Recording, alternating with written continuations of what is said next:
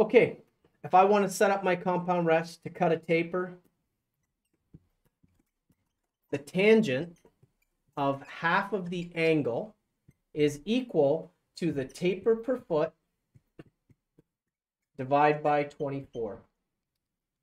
Okay, I know it looks complicated. It's not complicated. So let me explain how this formula works. When I set up a lathe, I'm physically standing there.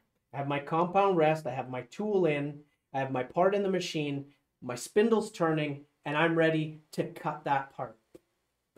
I am cutting by means of a linear cut, a, a, a single direction. I have a single point cutting tool, and I'm engaging that tool into this side of the work, right? I don't have a round tool that surrounds that whole part and, and shaves material off. I just have a single point tool that comes into contact with one side.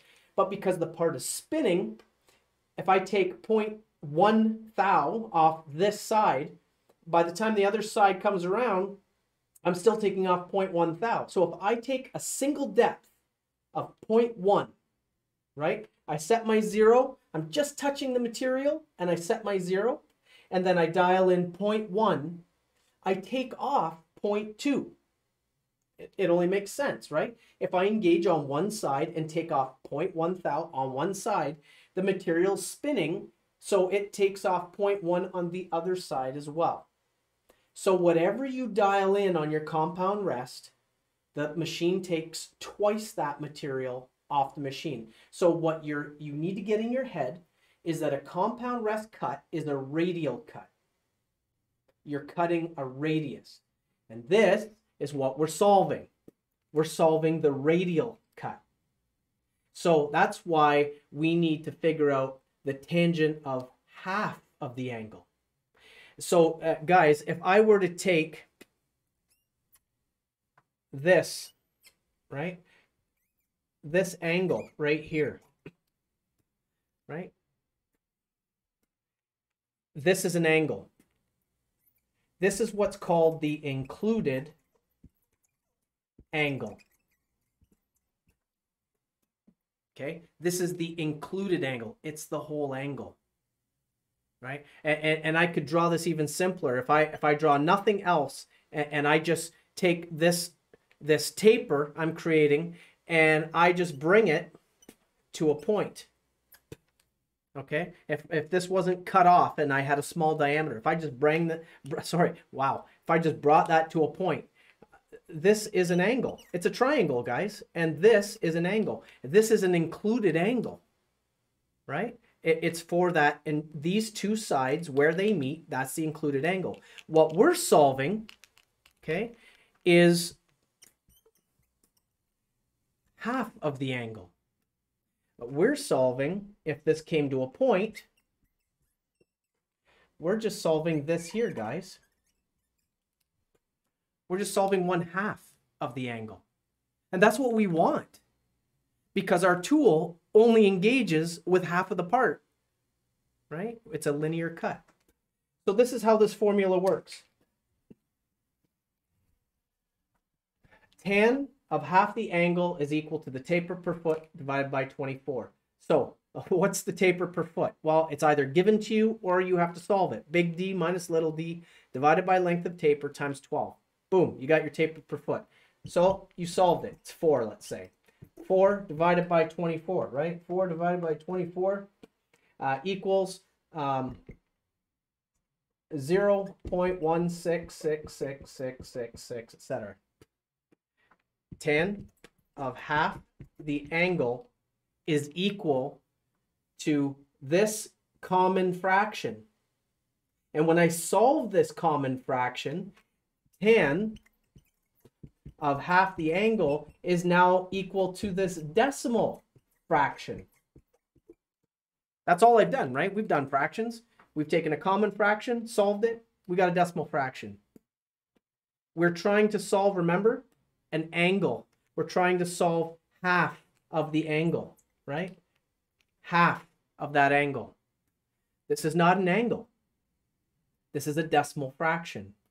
But this tells us how to turn it into an angle. So what I'd like you to do you have a calculator, because I know you do, because I asked you to get one. 4 divide by 24 on your calculator will now say 0.1666666, etc. Okay? Make sure your calculator is in DEG. D, E, G. If it is not, you will not get any answers right on any of your assignments. Okay, so if you can't figure out how to put it back into DEG, on the back of your calculator is a tiny little hole. It's a reset. Stick your a needle in there, reset your calculator, and it'll reset it to DEG. Okay. So now that you have 0.16666, etc. in your calculator, I want you to hit the second F button. They call it a second function button, or it may just simply say shift. Okay, so hit that button, second function or shift, and then hit the tan button, this here, tan. Okay, so second function, tan, and then equals. All right, the compound rest setting